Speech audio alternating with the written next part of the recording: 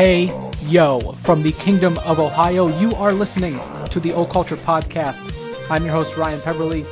Welcome into my little alcove of Arcana. I am back singing my one familiar song. So good to see you. I have missed you so much. So glad it's over. I have missed you so much. Hey, thanks for taking the time to pry open that third eye of yours.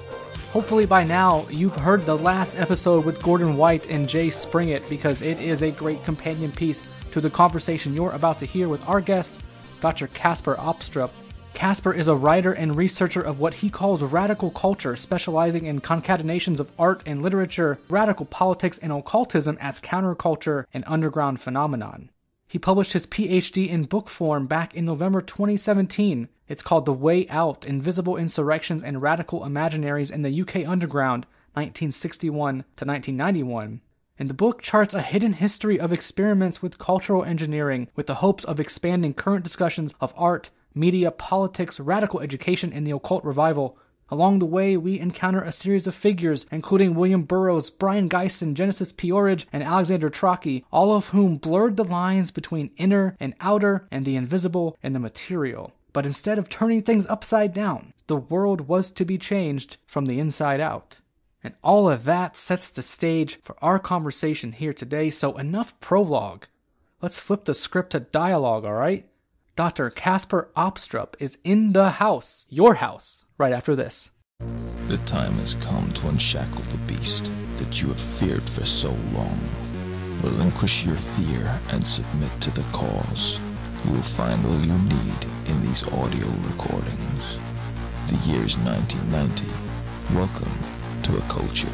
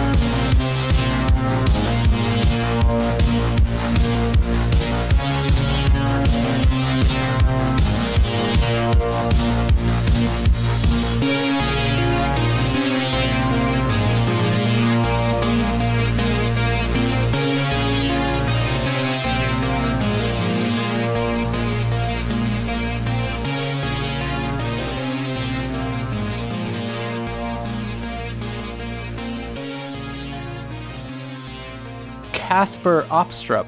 I am quite thrilled to have you here. Thanks so much for taking the time. Yeah, thanks for asking. No problem. No problem. You know, your name has been on my list for quite a while now, and I have been slacking in trying to get you on the show. And I say that because I've been dying to hear you talk about your book, The Way Out. The subtitle of that is Invisible Insurrections and Radical Imaginaries in the UK Underground 1961 to 1991. Uh, you published yeah. this back in November 2017, so it's been out for about 14 months now, hence my uh, slacking comment there. I guess we should start by talking about what led you to write this book. You know, give us the details on that. What was going on in your life when the way out, you know, sort of nestled its way into the, the bosom of your artistic and creative mind? Basically, it was written as a PhD in uh, London at the London Consortium. So I mean, uh, earlier I was uh, I was working in an art collective. I moved to London. I spent a few years working, and then I saw this PhD program, which was sort of like trying to create a new type of public intellectual. And at the same time, with the art we had been doing, I had become really interested in situationism. And in London, trying to get my head around this sort of like underground and where it was today and how it had come to be what it was and all this kind of stuff, especially some ideas in the 90s un- underground I was really interested in. And then uh, I began this PhD and I had stumbled upon this essay by Alexander Trocchi called uh, A Revolutionary Proposal. And I basically just wanted to take that essay and shake it for all its association. He has these notions of an, an invisible insurrection, that he's becoming a cosmonaut of inner space and all these kind of things. And then I just wanted to trace, you know, like what kind of future does this essay actually sort of entail if you take it literally? What kind of be what kind of you know ways of living, ways of being, ways of being together? What sort of like future utopia, so to speak, is uh, is it sort of like uh, pushing for?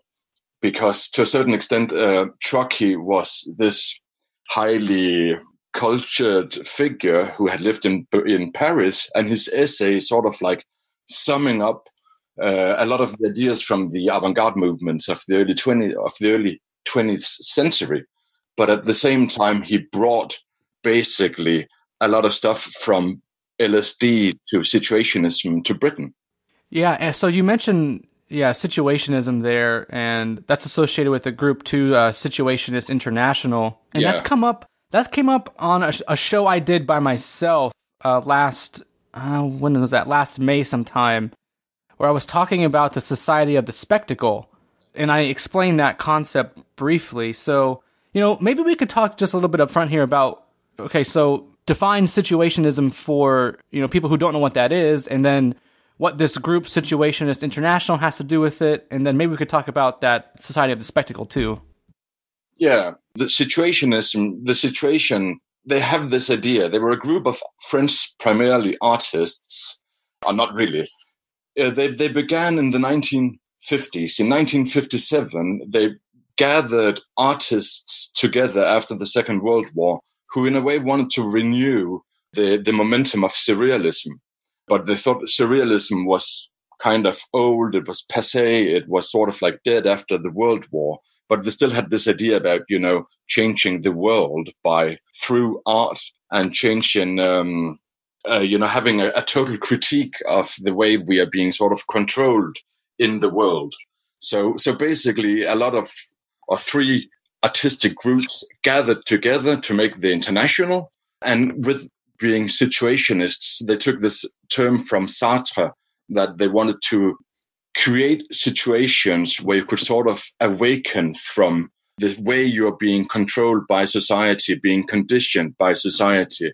This society of the spectacle is kind of a social relation that makes you a spectator to your own life and therefore keeps you passive. So instead of being like active in the way you're living your life or sort of like making it happen by yourself, you will always be the sort of spectator seeing life at a distance and thus be sort of the passive uh, recipient of what's going on instead of being empowered to actually sort of act and maybe change the direction. So the society of the spectacle is this sort of bread and circuses idea that it keeps you under control by endlessly circulating the same informations like trivialities, but treating them like revelations and discoveries and creating this sort of like media architecture which uh, sort of overwhelms you with images and keeps you passive, right? But I mean, with Trocchi, just to take Trocchi, right? Trocchi is this sort of like fascinating figure. He was sort of called the Lord of Junk and the first prophet of permissiveness in the UK counterculture of the 60s. But he is essentially a writer. He was a beat writer. He became a beat writer. He started out writing sort of existentialist novels, and then he met met the beats. And the beats they had this sort of project of, you know, inner exploration, finding some sort of like new soul, so to speak. And uh, where the situationists, on the contrary, wanted to be sort of more of a political group they sort of like organized themselves after the sort, the sort of classic vanguard party with their with a board of directors that could sort of like tell you what to do and what not, and if you were sort of living up to the dogma. But Trocchi became, while he lived in Paris, he became a member of one of the predecessors to the SI, as they're called, right, the Situationist International and the which was called the Lettrists. And uh, by joining them, he sort of automatically became a member of the SI when they became situationists, even though at that point he had himself moved to New York, where he uh, was sort of becoming more of a beat writer and more experimenting with hallucinogenics. And uh, he became, according to rumor, Jean Cocteau, the French surrealist, hooked him on heroin. So he became a lifelong heroin addict. And in that way, he's closer to a figure like William Burroughs.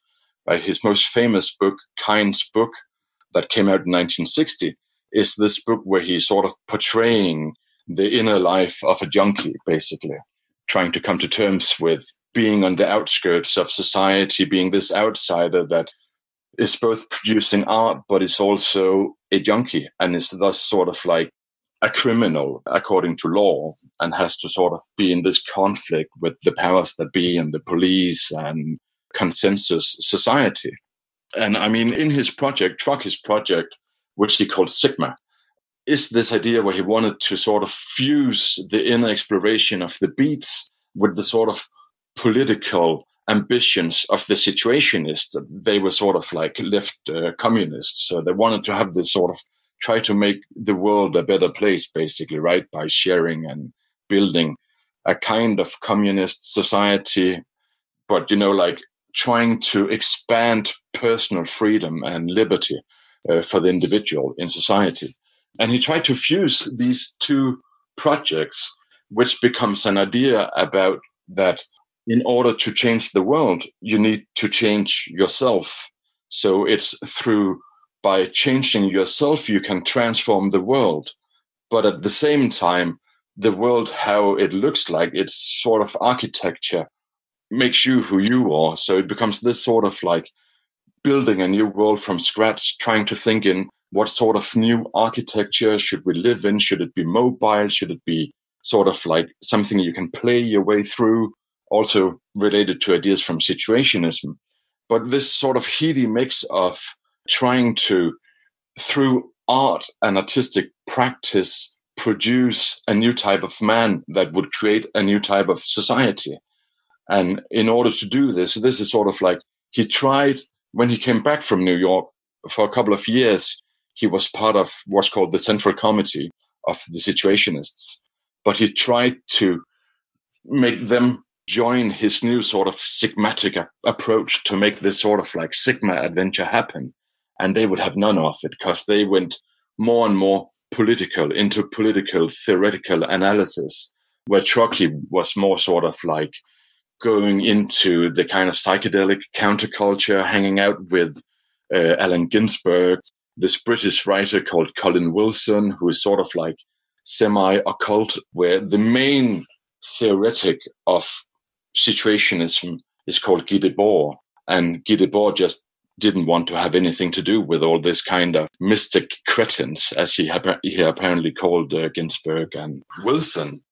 And I guess instead, Trocchi decided to uh, gang up with a group of uh, people that were more sort of like coming from beat, but actually having all kind of specializations. But you know, like artists, writers, architects, and try to get them engaged in this idea about that they needed to make this invisible insurrection, uh, which is his term, which is also the subtitle of my book, uh, where the, the invisible insurrection, in a way, is this way of transforming uh, yourself through kind of creative, artistic practice, and thus take over the world by injecting these ideas into culture uh, as use culture as a vehicle to make people think in another way, like create a new way of thinking.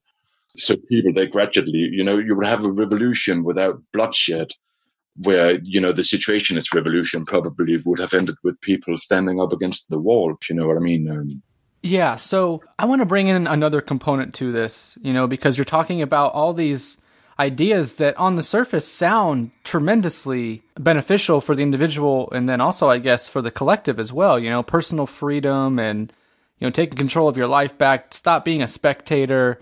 But yeah. on some level like it feels like you're still sort of being manipulated by a group who has a, a political or socio-political end game to all of this. And yeah. I think we should talk about this as still a component of a cultural engineering program. Would you agree with that? That that that is exactly what they're doing. They're trying to just engineer culture in a different way for their own benefit. Totally. I mean, absolutely. They have this idea about basically that the artists should be in control of the world. So they still have an, a notion, you know, of a kind of an elite, but where this elite should, you know, everybody should become artists. Everybody should become some sort of magician because they're sort of linking it all with with magic at a later point. We're saying, you know, like uh, magic is uh, the superstructure's superstructure. But yeah, they are sort of like an elite gang of conspirators who think that they have had an insight into authenticity or truth that they want to share, that they want uh, the whole world to to sort of like they're saying they're they're sort of like classic avant-garde or vanguard. So they are nothing that the whole world is not meant to become.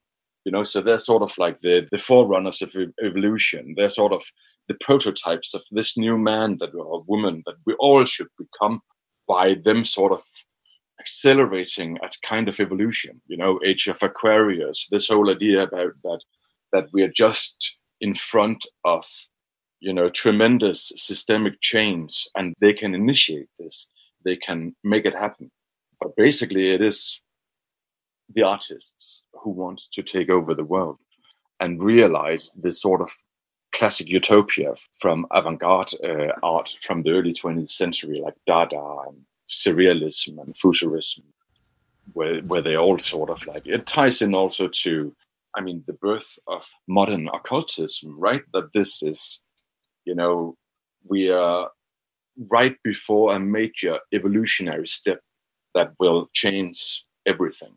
And we need to make it happen. Hopefully, it will happen in our lifetime but the old order is broken. The old symbols, the old language is no longer valid, and therefore new symbols, uh, fresh languages, they need to be invented, and we need to invent them. But they also want to turn everybody into collaborators on this project. It's not like they don't have an end result. They don't know how the future will look like. The future is unknown, but they make it into a project of survival because they're saying listen, if the powers that be they keep being in power, they will drop the atomic bomb. Or like today, where we have sort of like climate catastrophe uh, and all these kind of like this notion that we are sort of on the border of entering an age of annihilation or extinction. And therefore, if we need to survive, we need to drastically change and experiment with new forms of life, new forms of being. And this experimentation is something everybody should participate in, everybody should be active in, and not necessarily with Trocchi, but then you have to make your own group, make your own sort of affinity group, your own form of collectivity where you can sort of, it's kind of classic uh, anarchism, right? That you have this kind of new tribe and you would then be sort of in a network relation to all these other tribes or fellow travelers who is sort of working on this huge project of survival, which is also at the same time an evolutionary project. It wants to create a new society by creating something that becomes post-human in one way or the other. So, I mean, all these ideas are sort of, I mean, that was what I found so fascinating also with Trocchi's essay and project. And I mean, it never came to anything. It was widely distributed, but the money they raised, and they even had people like John Lennon uh, giving them money, sponsoring bits of it, but they used all the money on heroin, right? They just shut up their arms and were so it's a pipe dream. It's a pipe dream. I still think is really fascinating and in a lot of ways uh, valid. It's valid to sort of mine the experiences they did with this project, while at the same time, you know, it is sort of historical today. But it's just it connects a lot of both historical predecessors to what became the counterculture, of the underground of the 1960s, while at the same time it gave that movement a sort of trajectory. It gave them a, direction to go, right? Where many of them are still with us, even though I think that sort of impetus from the 60s probably faded out more or less completely during the 90s. It has become sort of an artifact today. It's kind of archaeological, but it's still talking to our time because we still, all the problems they addressed are still with us. They're not solved. And we are still having these debates about, you know, that change will come and it will uh, most likely be unpleasant, you know, in terms of climate change and all these kind of crises we're living in. So, to that point, Kasper, you used the term in the book, and I think you actually borrowed it from Genesis P-Orridge, but I think we're talking about cultural alchemy. This is kind of what we're describing here, which blends well with the occult and the esoteric component to this and, and that sort of lens. But yeah. you also said in the book that this is really about a reconciliation of opposites, which again is a fundamental alchemical principle, maybe the fundamental principle. Just like that term cultural engineering. I mean, cultural engineering is something that Trocchi, he starts to say that they are cultural engineers because what they're doing is going beyond art, beyond politics. They're sort of going into the new. And with the new here, they are cultural engineers. So they're trying to engineer culture to go to a certain in a certain direction. Basically, they want to put out some ideas through culture, and this will become what he calls the invisible insurrection of a million minds. So it'll become sort of it will go viral, and everybody will sort of be infected by this idea and sort of agreeing to it. Because uh, for for Trocchi and his collaborators, obviously it's it makes perfect sense the connection to Genesis P-Orridge is because one of the Sigma collaborators was William Burroughs.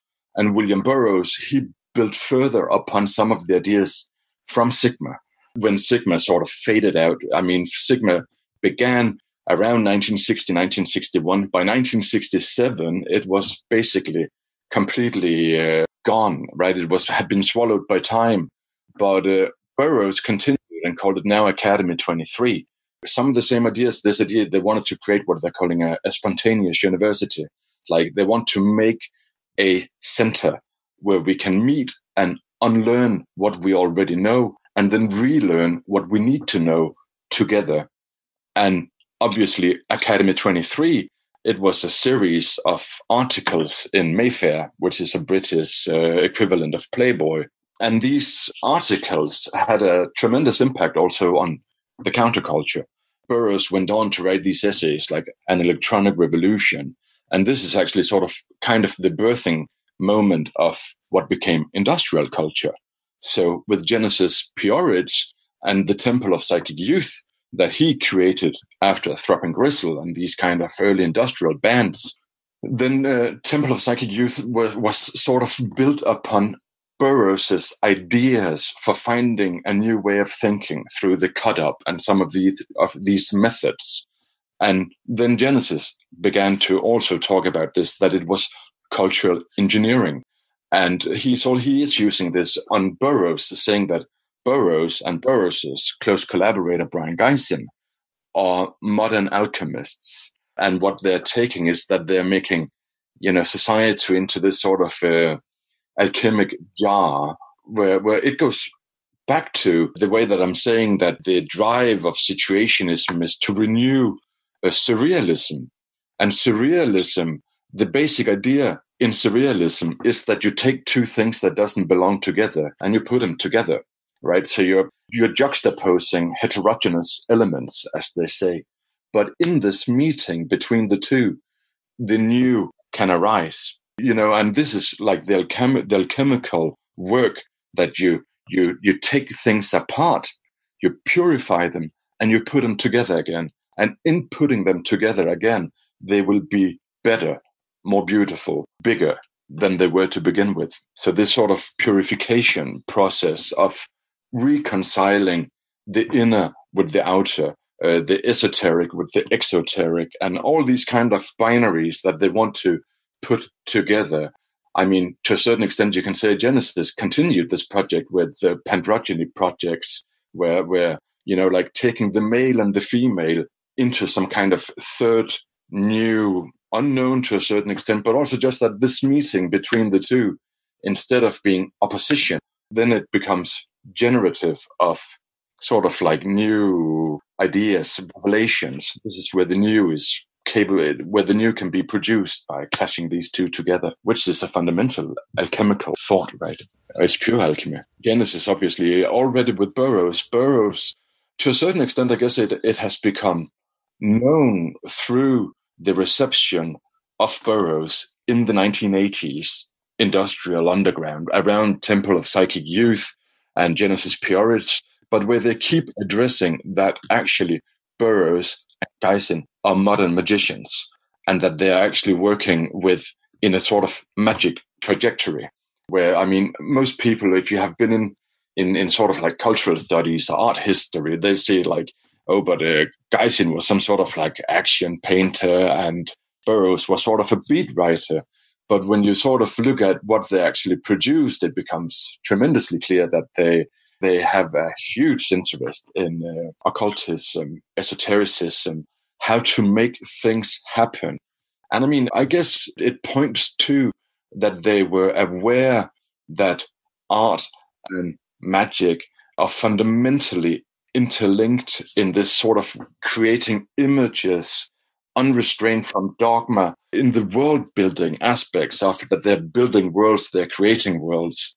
And then when they want to have these, when they want to make these imaginary worlds real, it's becoming magic and it enters politics because in reality, right, uh, the way we organize is uh, political. Uh, the way we live is political.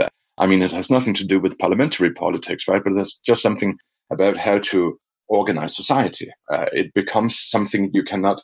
These three art, politics, and magic begins to overlap in this really interesting way, but where it actually all the common denominator is that it's a type of fiction that you're trying to realize into the world, which is basically what Sigma was as, as well, right?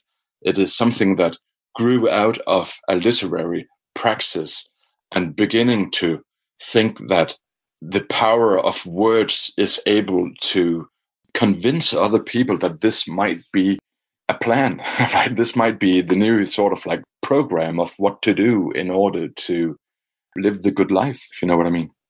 Yeah, or create the uh, great work, as the alchemists call it. Creating the great work becomes the, the self transformative part of it. I mean, the, the surrealists, they already had this, they had this catchphrase where they said, uh, transform the world Marx said, change yourself. And those two words are the catchwords for surrealism. So, you know, this, the great work is changing yourself, but by changing yourself, by inventing new symbols, by having a new way of thinking where you're thinking magically, you are actually also changing the world. You're changing social relations in between people, the way we are living together. Yeah, and I got a couple quotes here that I want to read. Uh, the first one is about Sigma, who you've been talking about. But you said that Sigma, in many ways, can be seen as an attempt to establish a new type of cultic community, a secret society conspiring to create a new religion while worshiping a utopian future not unlike the future visible in a radical interpretation of the Gospels or the anarchist tradition. As such, yeah. Sigma was an alchemical attempt at manufacturing the Philosopher's Stone the key to the kingdom of God, where we are all living in joy and abundance through revelation. So I think that quote goes back to the spectacle and sort of this unveiling, you know, this maybe sort of apocalypse, like showing that you are part of something that, or that you have been a passive part of this spectacle, right? This whole time. And this revelation is meant to, to shake you out of that and I guess sort of put you on a different um, path. Yeah. And I mean, it also goes back to the way that, I mean, this has this is more or less traceable through all of history, back also to the to the heresies and the heretical movements. This notion that the way the early disciples of Christ were living, where they had everything in common and they shared every kind of thing, is maybe a way to sort of like build the new world upon.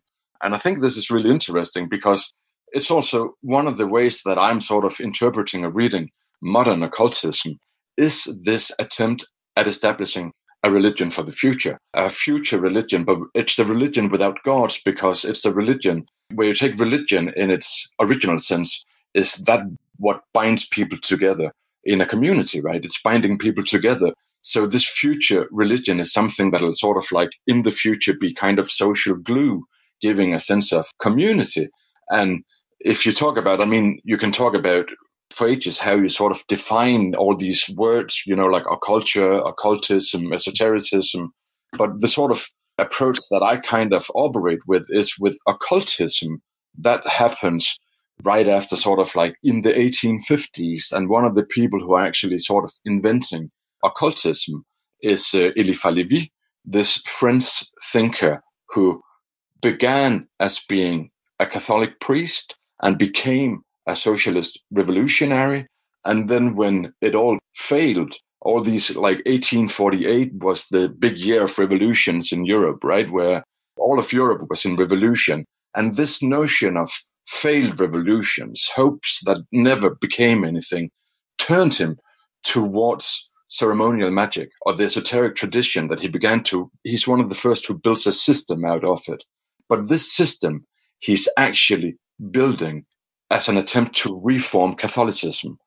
So it needs to be a religion, a reformed Catholicism that will be the building stone for a socialist utopia, because he was part of what's called uh, utopian socialism as well, right, as a revolutionary he went to jail for for for taking part in these revolutions before he became uh, Eliphas Lévi. Eliphas Lévi is uh, he was called uh, Alphonse Constant, as far as I remember. I guess you you you're fully aware of who I'm talking about, right?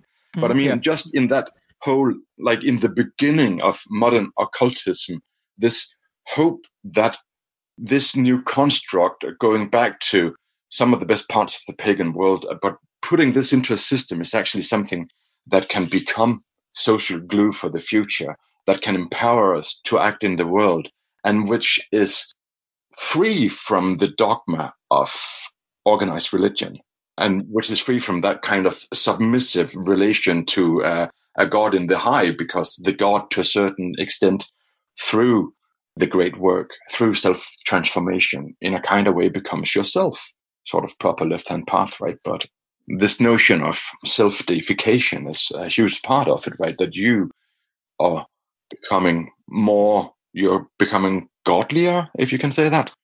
You know what I mean? Yeah, but you don't see any dogma in the occult then? Oh, yeah, sure. Lots of it today, right? In, in a lot of ways. But I'm just thinking in that sort of like fundamental impetus of trying to create this new thing, right? But I mean, of course, today the occult is uh, rich on strife and whether you're sort of like a left hand path or right hand path or whether you're part of like leftist politics or progressive politics or conservative politics and all these kind of I mean everybody have their own take on it which is probably as it should be but there's no consensus in it and obviously after Lévi when this sort of tradition becomes kind of dogmatic with Golden Dawn and some of these people a lot of dogma arises immediately. A lot of proper ways of doing it where you actually need to to get up to sort of like Burroughs and Gysin and the wake of those two sort of like kind of being the birthing of chaos magic in the in the 1980s right that where where these ideas are being set free again right but i think in the very in the first part of the of the 20th century it's very much sort of like golden dawn and crowley that is sort of like fairly dogmatic around how to approach these things. I'm just thinking that idea, you know, that that that it's oriented towards the future instead of actually sort of oriented towards towards the past, that it's progressive instead of conservative. Because I guess a lot of people also think when they hear the word occult that it's sort of arcane or conservative, but it's actually, you know, that idea about that that you need to create some kind of future social glue which could be some kind of hermeticism, uh, is basically super important for a lot of these people. And they're thinking it. I mean, this is what's so fascinating also with Sigma and Trocchi, that they're trying to to kind of build a, a, theory of everything, right? So they need to think everything into this, like a new psychology, how to make money on their sort of like what they're doing, how to kind of create this new type of community, which will lack the social glue that Christianity has given traditionally. And trying, of course, then to make art this sort of kind of new deity. But at the same time, yeah, but I mean, it's, it's super complex, but it's just a, There are so many really fascinating uh, ideas in that notion of, you know, of reinventing the world and rebuilding something, you know, like it's like those three phases of alchemy again, right? What do you do when you take it apart? Which has been what they have been doing in the 20th century, right? All the sort of artistic movements, they took what was there and they broke it apart and they tried to purify it. But how is it actually you're fitting it together again? And how can it become more than what it was? Which is the challenge, right? I mean, uh, obviously, we're still sort of battling with a lot of these questions and problems. And some of them that were sort of deemed historical just 10 years ago has sort of uh, shown their head again, reappeared, right? Yeah, and so I obviously am not a fan of dogma of any sort, wherever it comes from. I'm also really not a fan of politics and the whole like political way that we go about things these days, but it definitely ties in here. And I wanted to read a quote and then ask a question. Uh, but your quote was What these groups held in common was a desire to intervene in this shard of messianic time we call the present on the level of everyday life. Just as the artistic avant garde strive to merge art and everyday life, thus superseding the category of art, the politics of these initiatives are equally striving to merge politics into everyday life, going beyond both art and politics in order to supersede capitalist relations by producing new subjectivities, new forms of life produced by the meetings of messianism, Marxism, and magic, a radically unknown future which has nothing to do with what came before it. Ephemeral as it was, their production was a call for world revolution carried out by artistic means and without any victims. End quote. So it's interesting to me that they wanted to merge politics into everyday life because I think yeah. you see I think you see that now like that has come to fruition at least on some level everything about your everyday life seems politicized you know your diet what gender you are i mean it's all politicized and it's all being talked about by politicians at all levels and yeah. I guess what I'm curious about is what is the relationship between art and politics in this environment? Are they suddenly not able to be separated then? It depends. I mean, politics is a lot of things, right? And uh, I mean, the politics of the avant garde is due to that it's so sort of like utopian, where you're talking about, you know, communism and not the communism of the Soviet Union, right? But this communism of holding everything together, right? And sharing commons and all this kind of stuff, right? anarchism. It's utopian politics with, with anarchism, uh, which is an ideology that has never actually sort of been tried out. So, so the, it, it has nothing to do with sort of like, you know, uh, Trump or, or, or that kind of party politics where in the beginning, right? But I mean, today everything, as you say, is politicized. But this is also a way of causing strife in it because I think these politics they're talking about is about social organization, how you're sort of like redistributing wealth and organizing yourself socially, how we're living together, of ways of living and ways of sort of like organizing life where art and politics they become superseded because it becomes this sort of like completely new way of having social relation and having a societal organization where art ceases to exist because it becomes life. It becomes that you are yourself the sort of artwork or you're living creatively.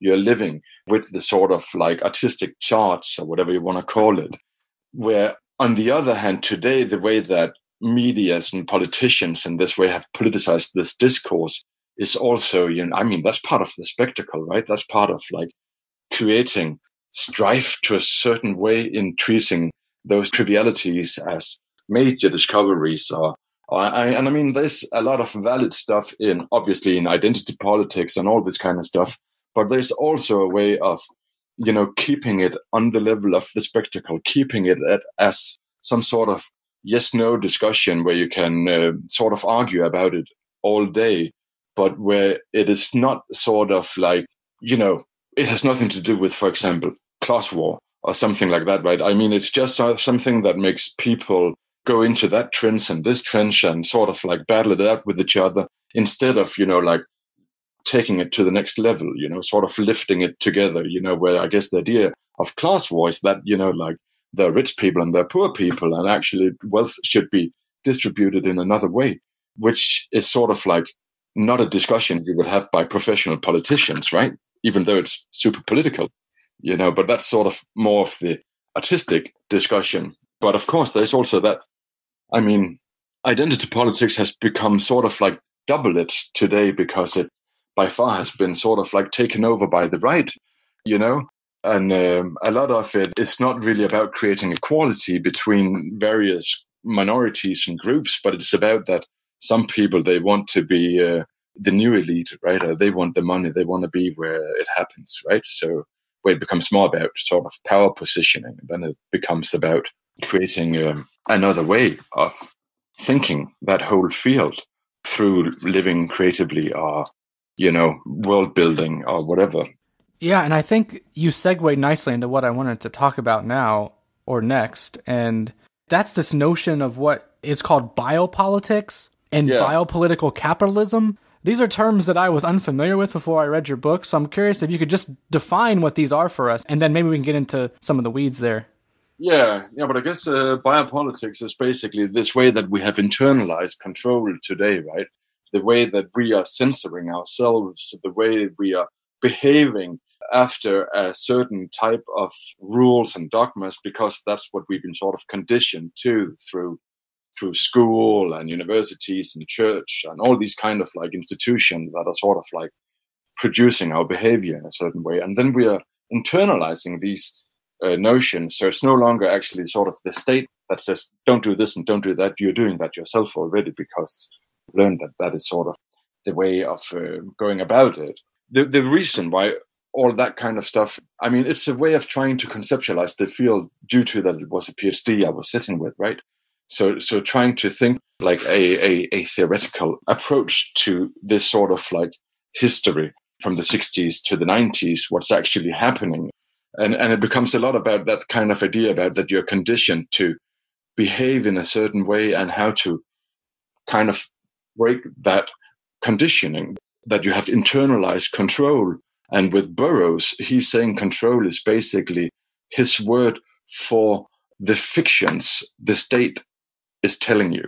So the way that you are controlled by fictions and narrative through the state.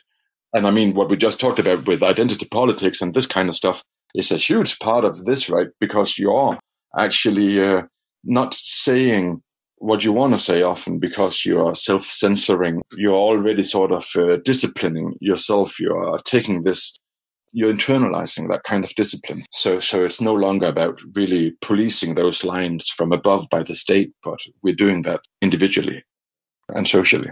Yeah, I think the uh, the biopolitical capitalism too uh, is worth explaining. But let me read a quote first. So you were uh, talking about the work of Michael Hardt and Antonio Negri, right? Yeah. Yeah. yeah.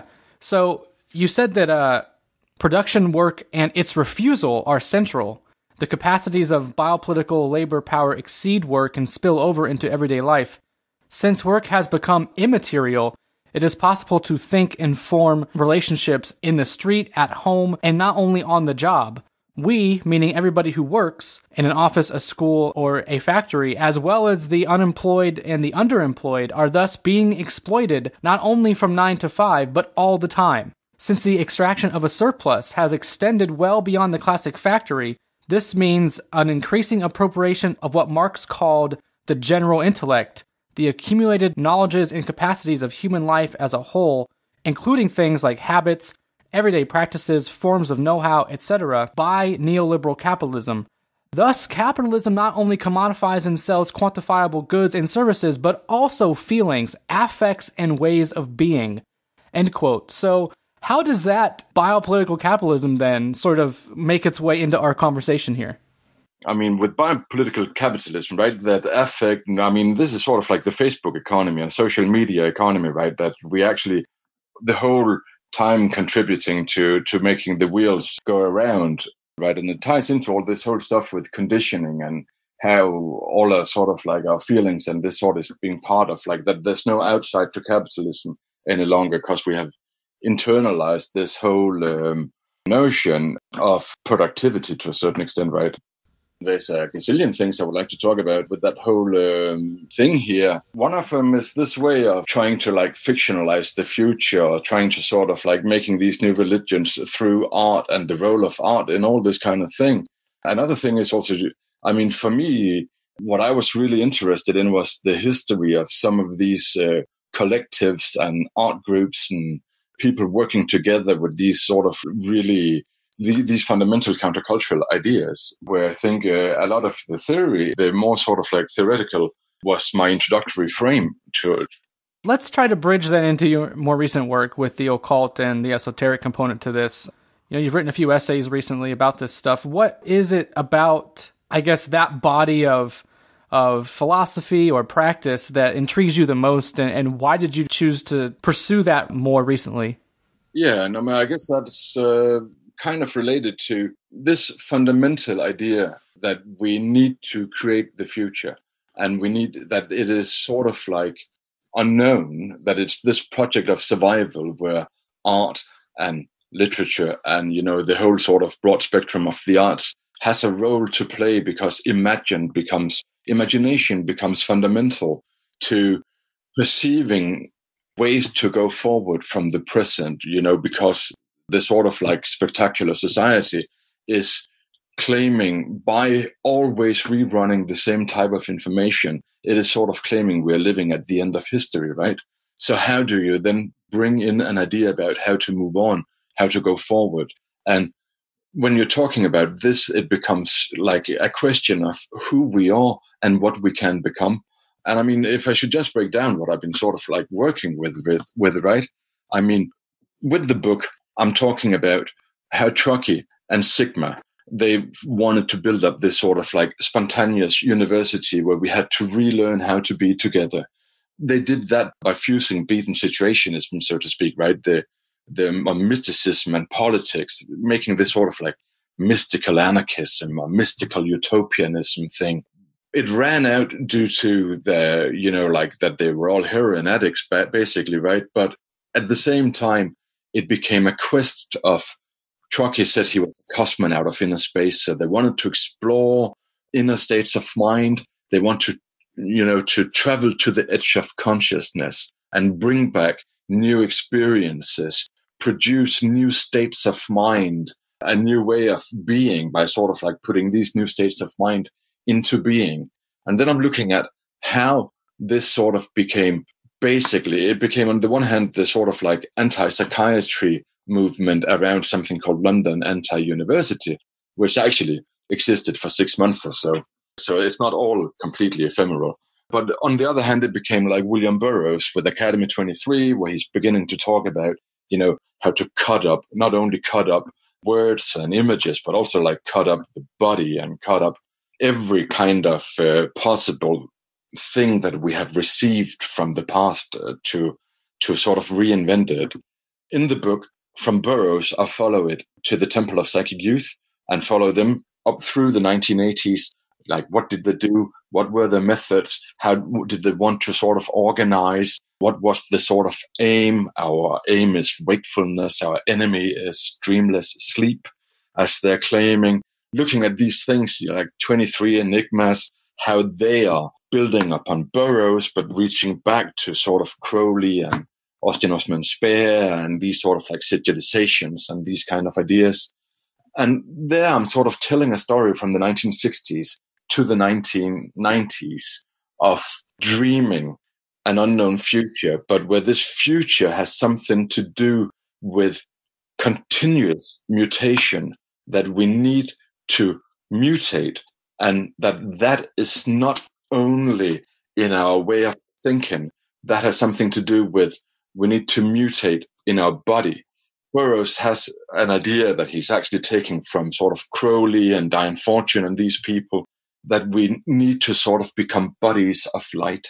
So we will become these immortal light beings where we can no longer speak because language is part of what is conditioning us. We will think in a new way we'll think in images. We will think in associations, which is magical thinking, right? Because magical thinking, as opposed to scientific thinking, is where you're thinking in similarities. You're no longer thinking causally. You're not thinking in cause and effect. You're thinking, is these things sort of like reminishing of each other? Like, do they correspond? Uh, do they have similarities? And that sort of refueling magical thinking, which I think points to, totally into our you know, sort of like contemporary, where with algorithmic thinking, it's actually a new way of magical thinking because algorithm is also based on similarity instead of causality.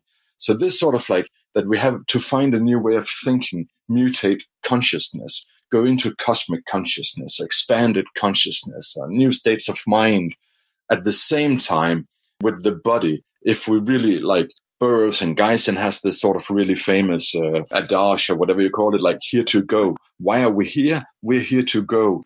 Where should we go? We should go to space. So we should go out into outer space. In order to do this, these are the sort of ideas I, I ran with from writing this book.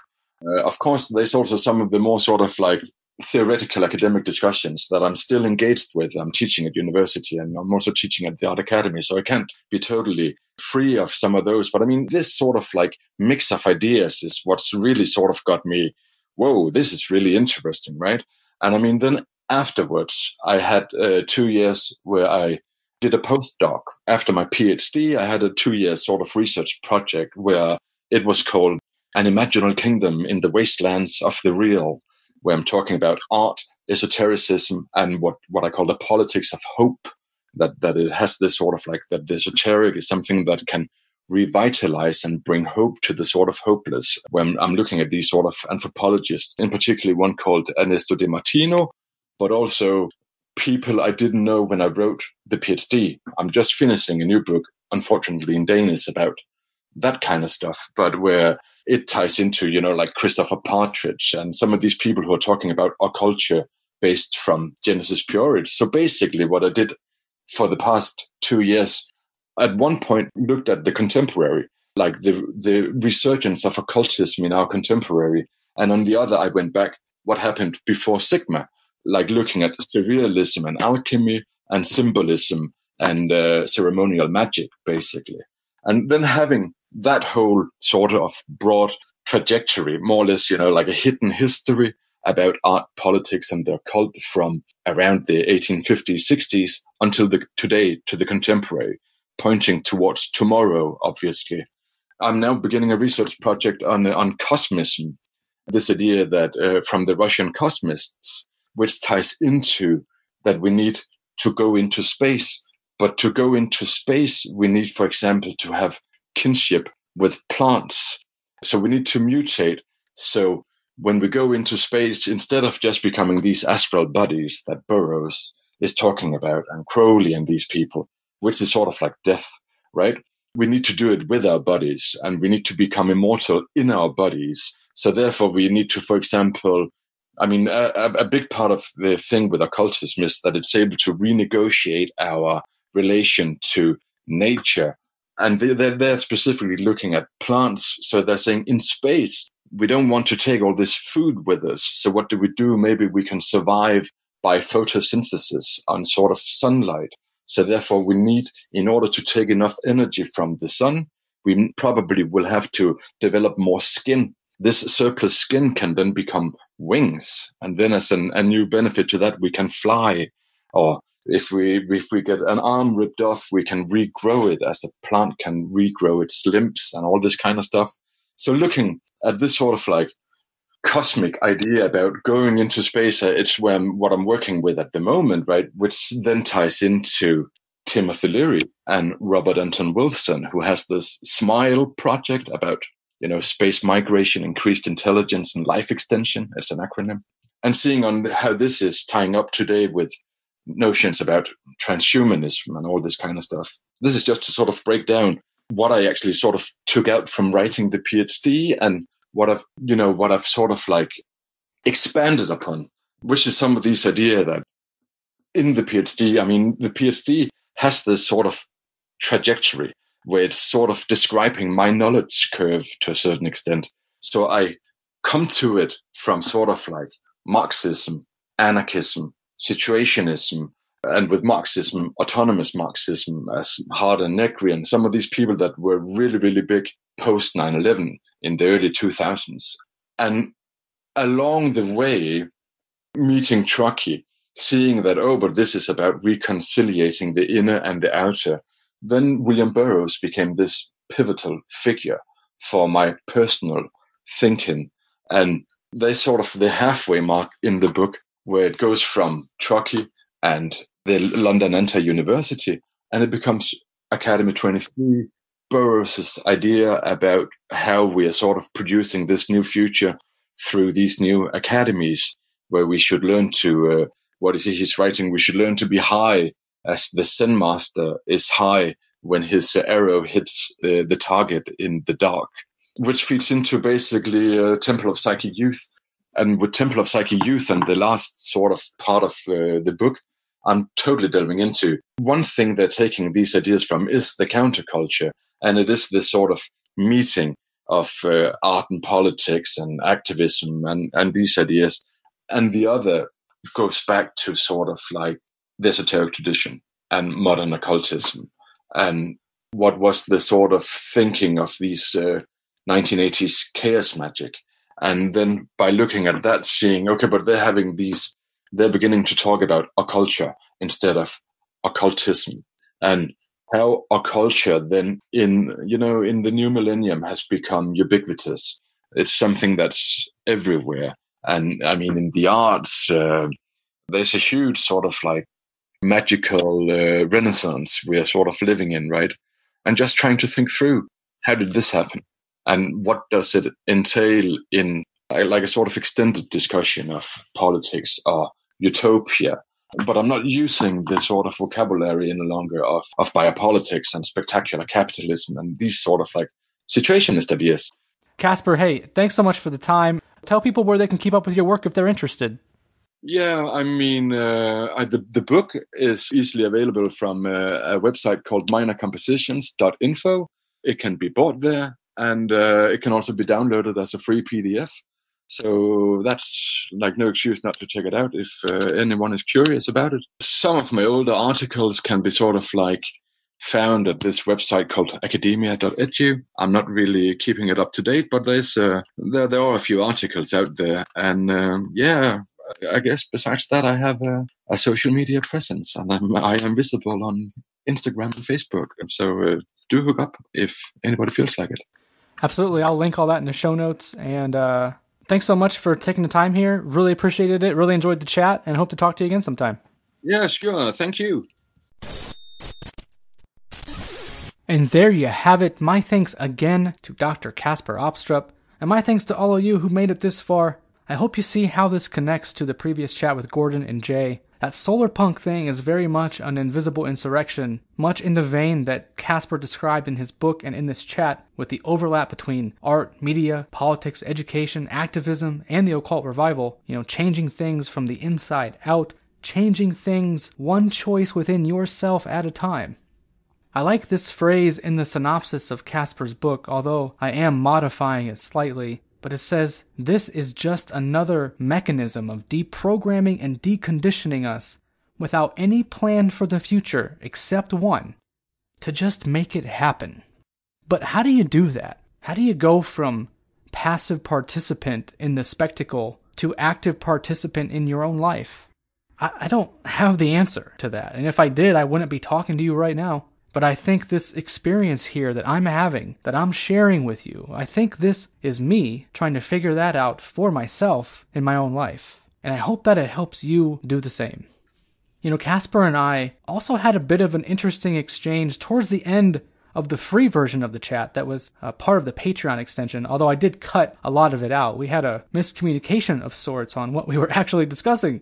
Kasper wanted to get more into his recent work, which I wasn't too familiar with, and I was focused solely on his book, which I had extensive notes on. But in the end, I think we found a good balance, and that actually may facilitate a follow up with Kasper so we can dig more into his recent writings and perspectives.